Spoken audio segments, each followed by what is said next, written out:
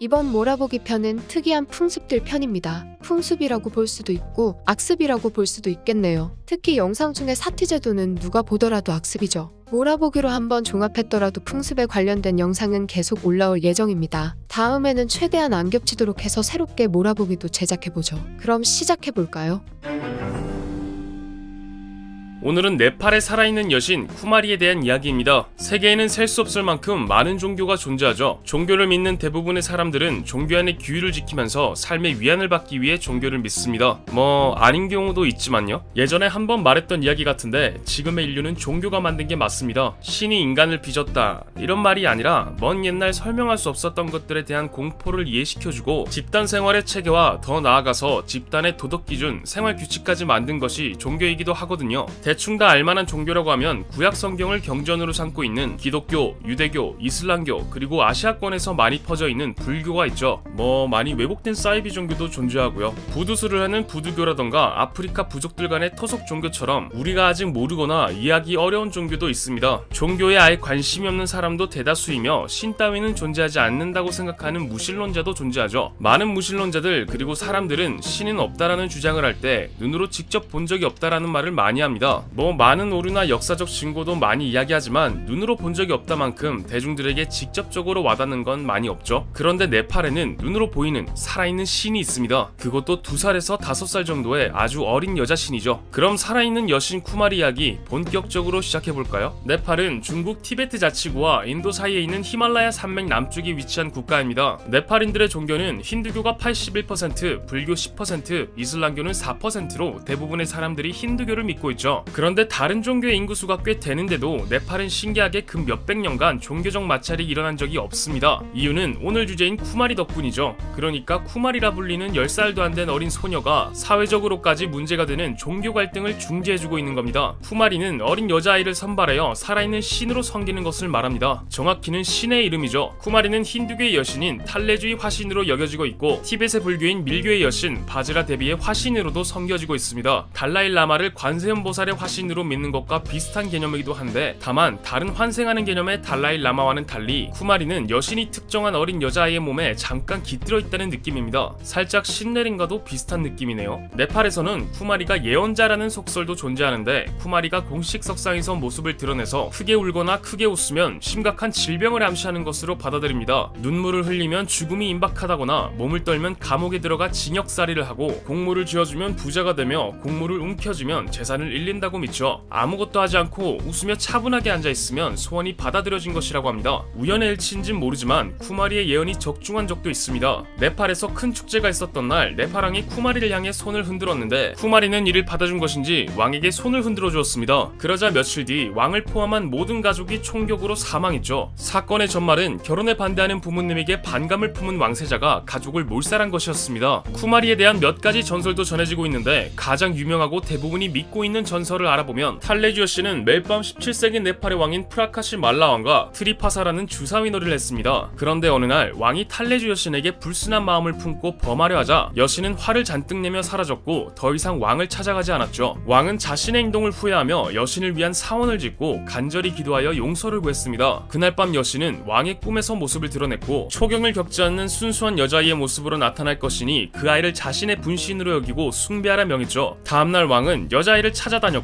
한 아이를 선발해 쿠마리라 칭하며 숭배했다는 전설입니다. 이러한 전설에 피는 불경이라는 티벳의 불교 문화가 더해지면서 네팔인들은 쿠마리가 초경을 하거나 크던 작던 상처를 입어 피를 흘릴 경우 여신이 몸을 빠져나간다고 믿고 있습니다. 전설과 티벳의 불교 문화 때문에 쿠마리를 선별하는 과정에서는 초경을 했는지와 몸에 상처가 있는지를 상당히 까다롭게 따져보죠. 그리고 살아있는 불교의 여신이니만큼 불교 집안에서만 선발하는데 석가모니의 후기자라 여기지는 사캬족과 바지라 차르야족 가문에서 대부분의 쿠마리가 나옵니다. 그런데 또 여자아이의 어머니는 힌두교여야 합니다. 이유는 두 종교가 화합을 이루고 싸우지 않게 하기 위함이죠. 집안과 처녀성, 흉터의 기준을 통과한 2살에서 5살 아이들은 다시 외모 심사라는 32가지의 과정을 거치게 됩니다. 균형 잡힌 신체와 부드러운 손과 발, 골반에 깊숙이 자리 잡은 생식기와 사자의 가슴, 사슴 같은 허벅지와 참새같이 깊은 목소리, 가지런한 치아와 아름다운 눈매 등 뭐 그냥 유치원도 안 간 아이들의 외모를 보는 것이죠. 외모 평가를 통과한 아이들은 이전 쿠마리의 물건을 찾는 시험을 보게 됩니다. 여신과 영적 교감이 되어 있는지 확인하는 것이죠. 이전 쿠마리의 물건을 찾는 시험은 무교인 저의 관점 그리고 일반 사람들이 보기에는 사실 운처럼 보이지만 네팔인들은 여신의 화신이면 당연히 찾을 거라 생각합니다. 여기까지 처녀성, 집안, 흉터, 외모에다가 물건까지 맞추면 마지막으로 소나 돼지 같은 가축들의 머리가 주렁주렁 달려있는 깜깜한 방에서 역한 피냄새를 맡으며 하룻밤을 보내게 됩니다. 만약 비명 소리를 지르거나 울음을 터뜨릴 경우 가차없이 탈락되죠. 이 테스트는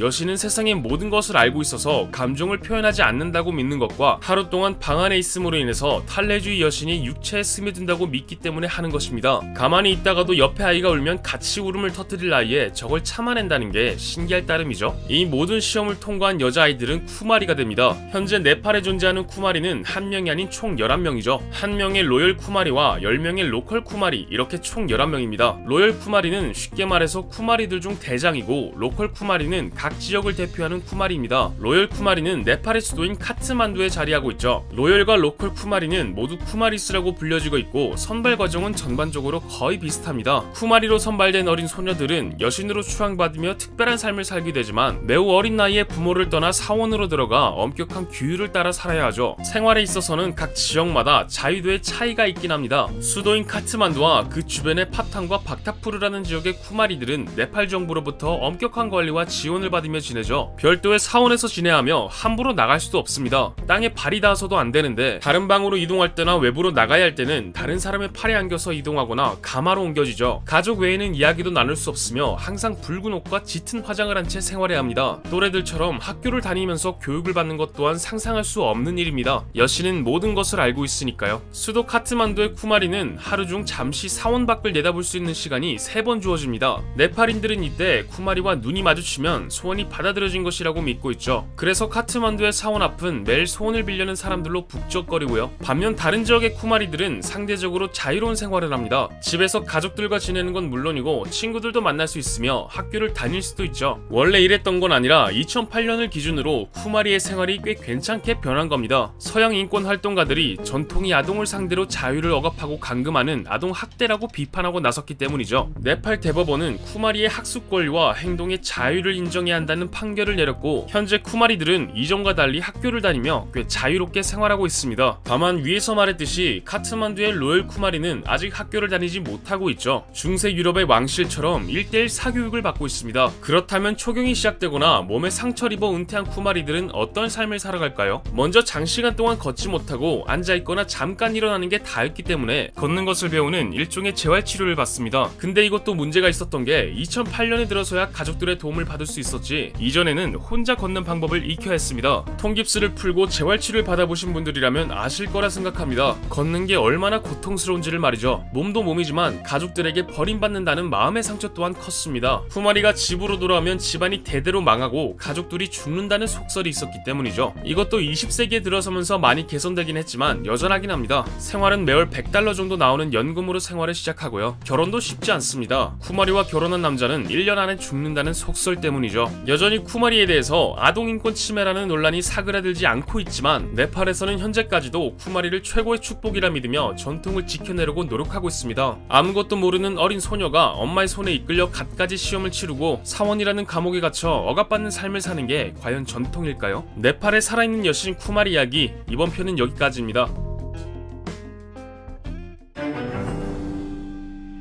오늘은 풍요로운 에도 시대 때 만연했던 충격적인 일본 문화 마비키에 대한 이야기입니다. 세상에는 이해가 힘든 풍습들이 간혹 있죠. 지리적으로 멀어서 이질적인 것도 있지만 상당히 익숙하다고 할 수 있는 일본이나 중국에도 이상하다고 생각되는 문화가 많이 존재합니다. 중국은 문화 대혁명으로 많이 찾아볼 수 없지만 일본은 사료가 많이 남아있죠.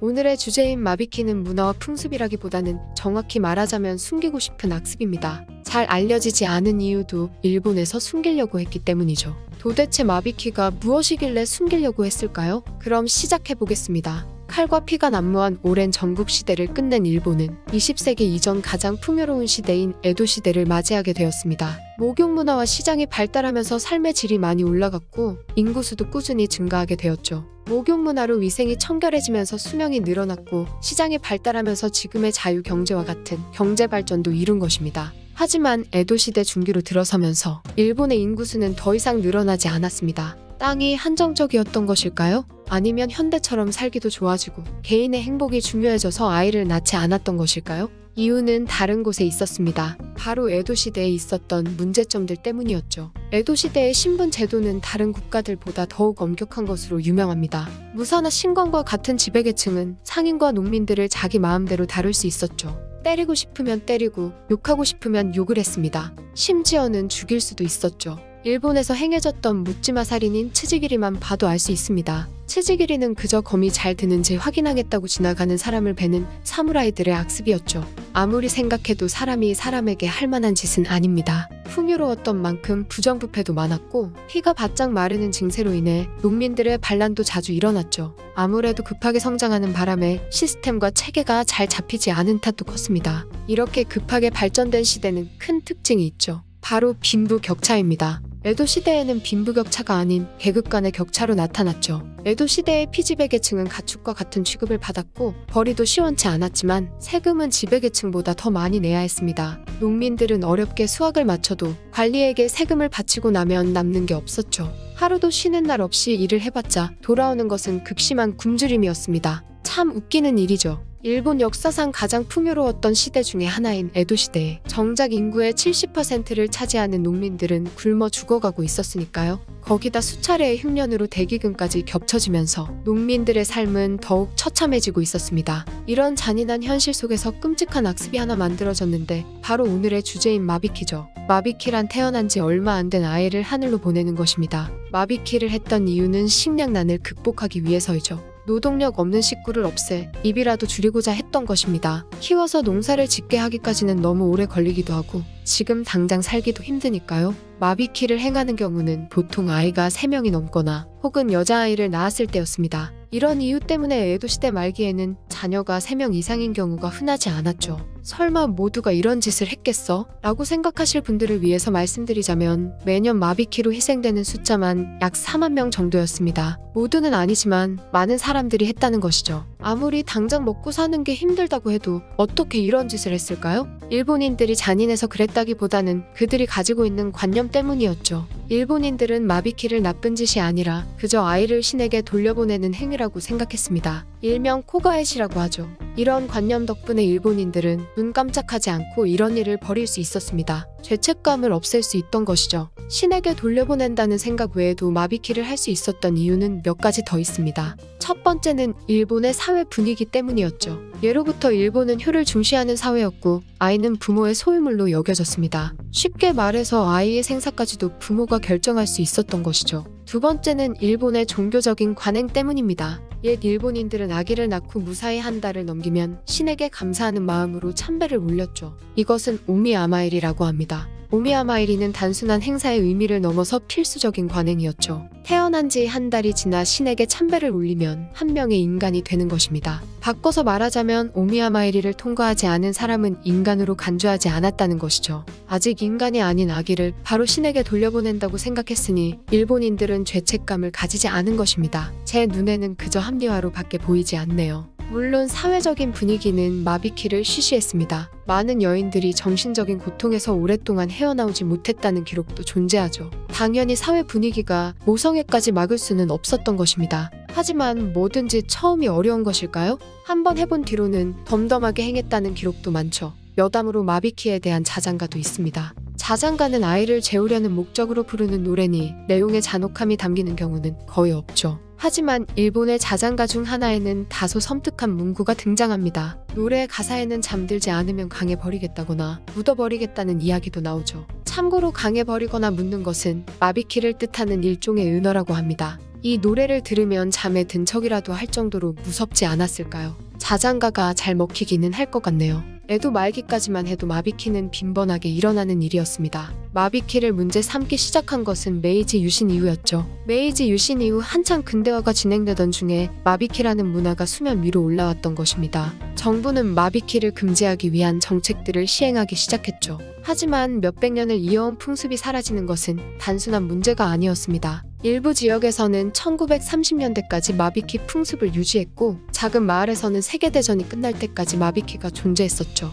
전통이라는 게 쉽게 사라지지는 않으니 말입니다. 경제적으로 풍요로워진 20세기 중반까지도 이런 끔찍한 악습이 존재했다는 것은 꽤나 충격적이죠. 인위적으로 인구수를 절감하는 것은 세계 곳곳에서 나타나는 일입니다. 중국은 아예 제한 정책을 펼치기도 했죠. 하지만 일본은 정책이나 문제에 대한 제한이 아닌 잘 사는 집도 마비키가 하나의 문화가 되어 경제력과 상관없이 이런 행위를 했습니다. 심지어 남자들은 결혼을 할 상대가 없는 지경까지 갔었죠. 그래서 장남만 결혼을 할 수 있는 문화가 생기기도 했습니다. 부진하던 일본의 인구수 성장률은 2차 세계대전이 끝나고서야 다시 회복되었습니다. 끝내 마비키라는 악습이 완전히 사라지게 된 것이죠. 어쩌면 사라지지 않았을 수도 있습니다. 여전히 일본에는 마비키의 잔재들이 남아있기 때문이죠. 집단 따돌림 미지메가 대표적인 마비키의 잔재라고 볼 수 있습니다. 갑자기 뜬구름 잡는 소리를 한다고 생각하실 수도 있지만 마비키와 이지메는 생각보다 비슷한 이유로 벌어졌죠. 예의를 중요시하는 일본 사회에서 누구 하나를 지정해 죽을 때까지 괴롭힌다는 건 어딘가 이상하지 않나요?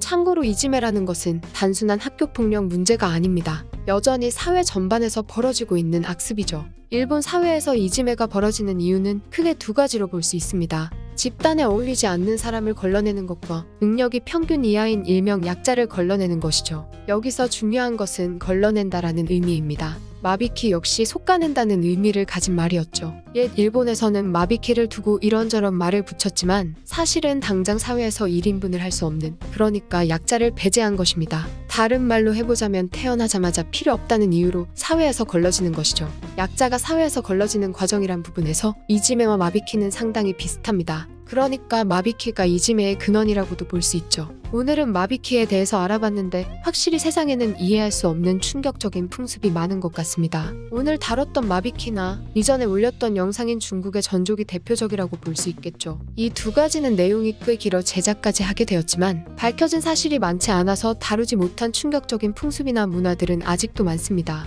고작 내용이 짧다는 이유로 그냥 넘어가기는 조금 아쉽죠. 그래서 세계 각국의 충격적인 문화나 풍속들을 모아서 랭킹 스토리 채널에 업로드 됩니다. 랭킹 스토리에도 많은 사랑 부탁드리면서 마치도록 하죠. 풍요로운 에도 시대 때 만연했던 충격적인 일본 문화, 마비키 이야기. 이번 편은 여기까지입니다.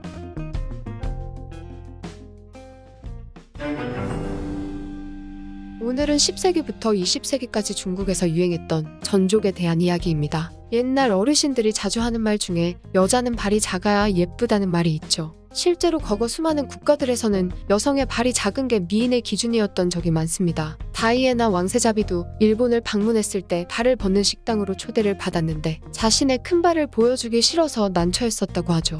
이렇듯 동서양을 막론하고 여성의 발은 작아야 한다는 인식이 많습니다. 다소 이상한 미의 기준이고 저는 이해가 안 가기는 하지만 생각보다 많은 시대 많은 국가에서 작은 발이 미의 기준이었던 적이 있었죠. 발이 작은 것이 아름답다는 미의 기준을 아예 전통이자 문화로 만든 국가도 있었는데 바로 중국입니다. 중국에서는 발이 큰 여성을 심각한 수치로 여겼습니다. 그래서 아예 여성의 발이 일정 크기 이상으로 커지는 것을 미리 막는 일도 했죠. 이것을 전족이라고 부릅니다. 전족을 한 여성은 발이 10cm 이상 커지지 않으며 제대로 걷기도 힘들죠. 어린 나이에 자신의 의사와는 상관없이 전족을 해야 했고 전족을 하지 않은 여인은 심각한 콤플렉스를 안고 살아갔습니다. 상당히 폭력적인 전통이죠. 서로는 여기까지 하고 지금부터는 중국에서 천년 동안이나 이어졌던 전족에 대해서 본격적으로 알아보겠습니다. 그럼 바로 시작해 볼까요? 전족을 처음 시작한 것은 10세기 초 5대 10국 시대부터였죠. 전족이 생겨난 이유에 대해서는 의견이 많은데 보통은 홍등가에서 시작되었다고 보고 있습니다.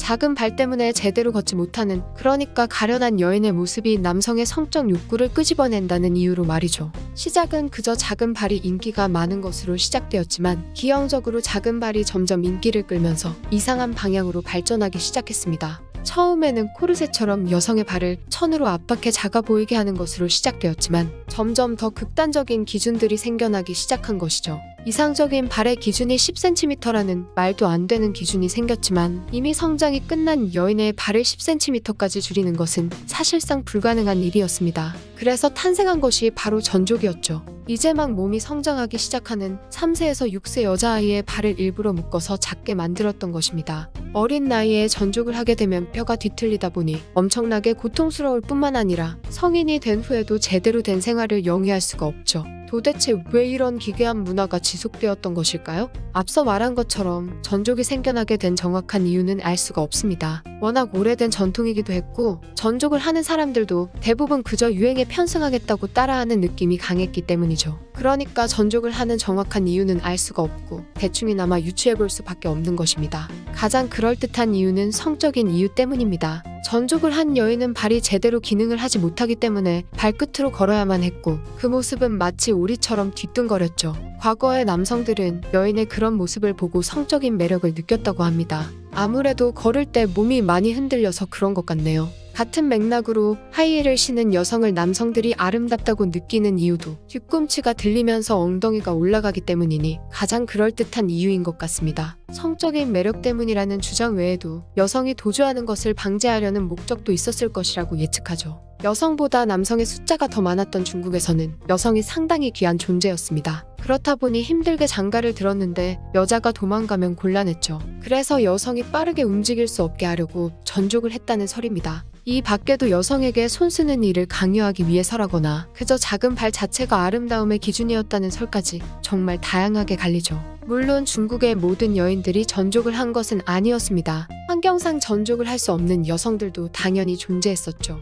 하지만 과거 중국에서 전족을 하지 않은 여인들은 보통 천민이나 어딘가 문제가 있는 여성으로 취급받았습니다. 평균이나 그 이상의 생활을 할 수 있는 집안의 여성들은 필수적으로 전족을 했던 것이죠. 딸을 가진 집안은 필수적으로 전족을 시켰던 것입니다. 그러니까 사회적인 분위기가 만들어낸 악습인 것이죠. 그렇다면 전족은 어떻게 하는 것일까요? 전족을 하는 방법은 생각보다 간단합니다. 간단하지만 그만큼 잔인하기도 하죠. 발이 10cm 이상 크지 못하도록 압박하면 끝이니까요. 조금 더 자세하게 들어가 보면 우선 아이가 3세에서 6세 정도가 되면 엄지발가락을 제외한 나머지 발가락들이 발바닥 아래로 접히도록 만든 뒤에 헝겊으로 감싸서 압박합니다. 이후 기초적인 전족의 모양이 만들어지면 발을 따뜻하게 만들어 풀어주고 구부리는 작업을 오랫동안 하면서 만들죠. 말만 들어봐도 아시겠지만 엄청나게 고통스럽다고 합니다. 당연히 중국인들 외에 다른 사람들이 보기엔 상당히 야만적으로 보일 수밖에 없었죠. 전족을 흉측하게 생각한 것은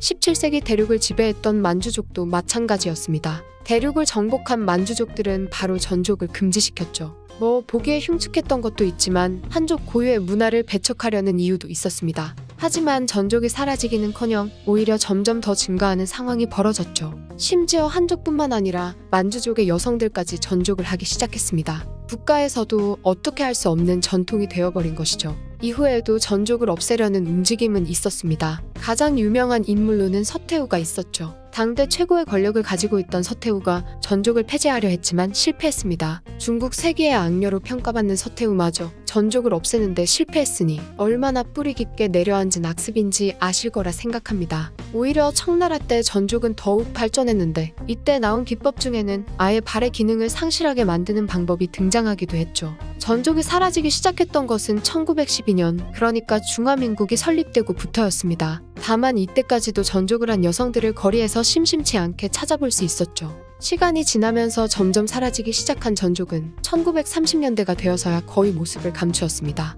청나라에서 중화민국으로 넘어가던 시기 전족과 관련된 숭칭링의 일화도 있죠. 순원의 부인 숭칭링이 젊었을 때 사회생활을 하겠다고 말하자 집안의 여자 어른들은 숭칭링을 잡으려고 했고 숭칭링은 재빠르게 집 밖으로 도망쳤다고 합니다. 어른들도 숭칭링을 따라갔지만 전족 때문에 따라잡지 못했다고 하죠. 중국의 오랜 악습이 깨져나가는 동시에 중화민국 이전과 이후 여 성의 차이를 가장 잘 보여준 일화입니다. 현재는 전족을 한 사람을 찾기는 힘듭니다. 강경하게 막았음에도 전족이 비밀스럽게 시행되었던 중화민국 초기에 태어난 노인 인구가 마지막으로 전족을 했던 세대죠. 마지막으로 전족을 했던 노인들을 대상으로 설문한 자료에서는 상당히 흥미로운 결과가 나오기도 했는데 보통은 거동이 불편해지기 때문에 단순히 미의 기준으로 인해 전족을 했을 것이라고 예측했지만 노인들이 말해준 이유는 오히려 일을 시키기 위해서였다고 하죠. 젊은 여성 노동력이 밖으로 나돌지 않고 손을 쓰는 일을 하게 만들기 위해서였다고 합니다. 물론 시작은 기괴한 미의 기준 때문이 맞았을지라도 시간이 흐르면서 이유와 목적이 변하게 된 것이죠.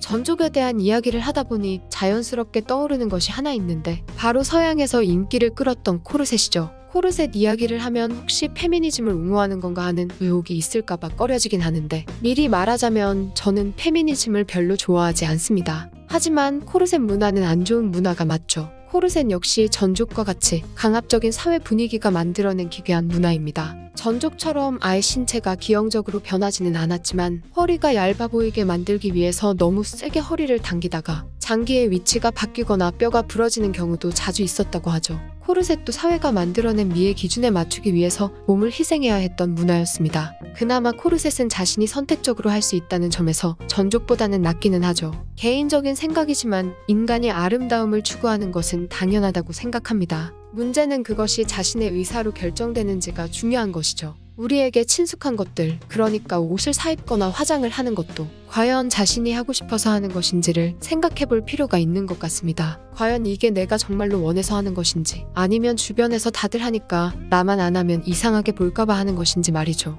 10세기부터 20세기까지 중국에서 유행했던 기괴하고 잔인한 전통, 전족 이야기. 이번 편은 여기까지입니다. 오늘은 인도의 풍습 중 하나인 사티제도에 대한 이야기입니다. 풍습은 보통 종교나 신화를 바탕으로 만들어지죠. 힌두교는 인도 신화를 기반으로 만들어진 종교입니다. 2020년 기준 11억 6천 명, 전 세계 인구의 약 15%가 믿는 종교로 기독교 이슬람에 이어 세 번째로 신도가 많은 종교이죠. 사티 제도는 인도 신화를 바탕으로 만들어진 힌두교의 풍습이고요. 사티 제도는 부부 사이에서 남편이 아내보다 일찍 죽게 되면 남편의 시체를 화장할 때 아내가 산채로 불 속으로 뛰어드는 풍습입니다. 당연히 살아남기는 힘들죠. 현대에 살아가는 우리에게는 상식 밖의 일이고 말이 안 되는 풍습이라고 생각할 수도 있습니다. 하지만 오늘날까지도 인도에서 가끔씩 일어나는 풍습이며 인도인들은 사티 제도가 잔인하다고 생각하지 않죠. 오히려 성스러운 의식이라고 생각합니다. 도대체 왜 이런 풍습을 성스럽다고 생각할까요? 그리고 어쩌다 이런 풍습이 생긴 것일까요? 사티제도 이야기 본격적으로 시작해보겠습니다. 인도에 대해서 잘 모르는 사람도 한 번쯤은 시바신에 대해서 들어본 적은 있으실 겁니다. 이쪽 문화에 익숙하지 않은 우리도 한 번쯤은 본 모습이죠. 시바신은 인도 신화에서 파괴의 신으로 나옵니다. 그리고 바로 시바신의 첫 번째 아내가 사티 제도라는 이름의 유래인 사티이죠. 사티는 정숙하고 용감한 아내라는 뜻을 가지고 있습니다. 사티의 아버지인 다크샤는 사티가 결혼 정년기가 되자 신들을 모아 연회를 열었죠. 사티의 신랑감을 찾기 위해서였습니다. 다크샤는 이 연회에 일부러 시바신을 초대하지 않았죠. 다크샤는 시바를 별로 좋아하지 않았거든요. 그 이유는 시바신이 파괴의 신이라 불리는 만큼 성격이 안 좋았기 때문이었죠. 하긴 저라도 성격이 안 좋은 사람과 딸을 결혼시키고 싶지는 않을 것 같네요. 하지만 역시 자식은 부모 맘대로 안 되는 걸까요?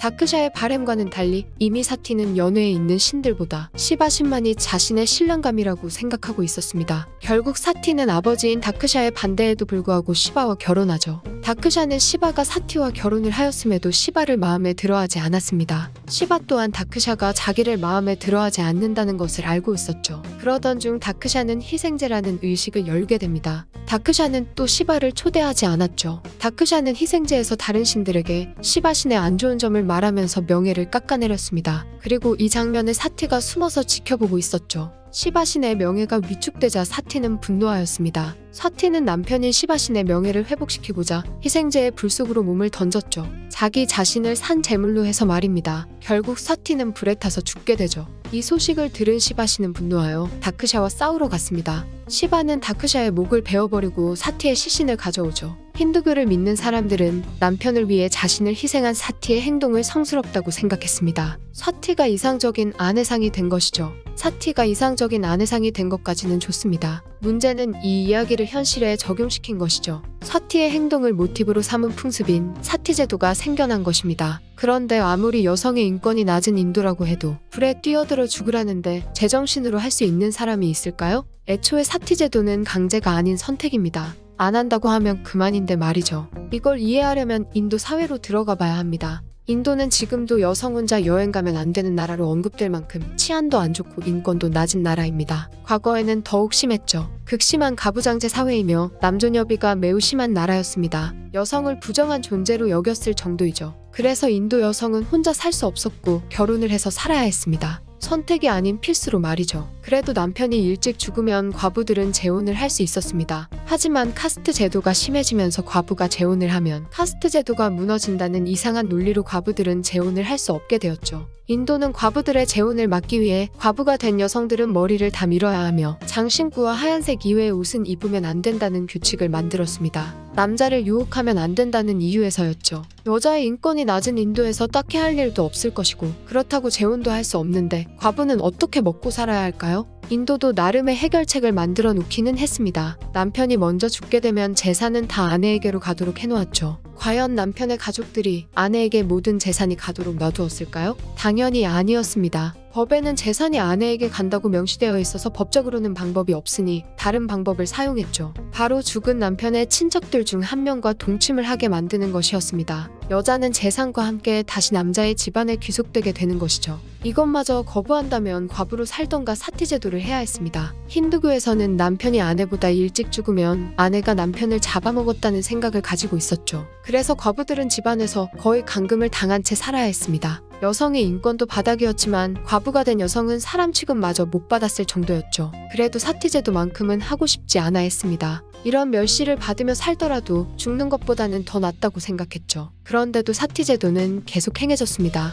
사티제도를 원하는 건 과부가 아니라 친척들이었죠. 친척들이 사티제도를 원했던 가장 큰 이유는 돈 때문이었습니다. 사티제도를 하게 되면 남은 사람들은 큰 돈을 받았거든요. 사회적으로도 과부가 된 부정한 여성이 여신으로 승격할 수 있는 성스러운 의식이며 사원이나 기념비도 지어주고 친척들의 죄도 사하여준다고 하니 강요가 잇따랐던 것입니다. 그리고 여성이 비싼 장신구를 여러 개 착용할수록 더욱더 높은 여신으로 승격할 수 있다고 믿었는데 이 때문에 카스트 제도의 일계급인 브라만들도 사티 제도를 원했습니다. 과부의 시체가 불에 타 없어지고 남은 장신구는 브라만의 것이었거든요. 그래서 과부가 사티 제도를 거절하면 강요와 협박을 하였고 이 또한 안 되면 약을 먹여서라도 강제로 실행했죠. 비인류적인 사티 제도는 몇 번이고 금해졌지만 사라지지 않았습니다. 물론 지금은 도시나 여행지 등에서는 모두 사라졌지만 눈길이 닿지 않는 시골에서는 가끔씩 행해지고 있죠. 사티 제도가 없어지는데 가장 큰 영향력을 준 사람은 바로 기독교 선교사 윌리엄 캐리였습니다. 윌리엄 캐리는 1793년 당시 가족들의 완강한 반대에도 불구하고 인도행 배를 탔던 인물이죠.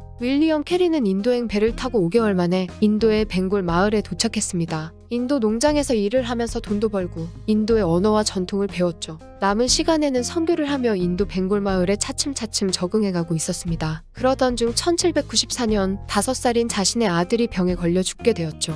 윌리엄 캐리는 큰 상처를 받았지만 그래도 자신이 인도에 온 목적을 생각하며 선교를 계속했습니다. 윌리엄 캐리는 인도의 신분제도에 의해 사람들이 평등하지 않으며 특히 여성들의 인권이 너무나도 낮다고 생각하죠. 기독교의 기본적인 사상 중 하나가 평등이니까요. 캐리는 여성들의 인권이 낮은 이유가 가르침을 받지 못했기 때문이라고 생각했습니다. 그래서 자신의 동료들과 돈을 모아 여성들이 가르침을 받을 수 있게 학교를 짓고 여성들을 가르쳤죠. 그러던 중 윌리엄 캐리는 사티 제도를 보게 됩니다. 캐리가 본 사티 제도는 말 그대로 끔찍했습니다. 캐리는 곧바로 사티 제도를 반대하는 운동을 하게 되죠. 인도 정부에서는 사티 제도는 이미 금지되었으며 과부가 너무나도 원하는 경우에만 진행되는 것이라고 변명했습니다. 물론 금지는 되어 있었지만 과부가 원해서 이런 일을 할 리는 없다고 생각한 캐리는 조사를 해보죠. 1802년 한 해 동안 인도의 캘커타 지방 50km 안으로 438명의 과부들이 죽었으며 자신들이 원해서 죽은 것이 아닌 친척들이 강제적으로 사티 제도를 진행시켰다는 것을 알아냅니다. 그런데 갑자기 외국인 선교사가 들어와서는 이런 일들을 벌이니 인도인들 입장에서는 곱게 보일 리가 없었습니다. 힌두교의 지도자들은 선교사들이 힌두교를 없애기 위해 사티 제도라는 성스러운 의식을 폐지 하려 한다고 청원했고 사티제도가 없어지면 아내가 남편을 취할 것이라는 말도 안 되는 주장을 하죠. 그러나 선교사들도 한 고집 하는 사람들이었습니다. 물러서지 않았다는 말이죠. 결국 1829년 사티제도가 공식적으로 금지됩니다. 하지만 사티제도는 없어지지 않았습니다. 힌두교 지도자들은 사티제도를 성스러운 의식이라며 다시 시행할 수 있는 풍습으로 만들려고 했죠.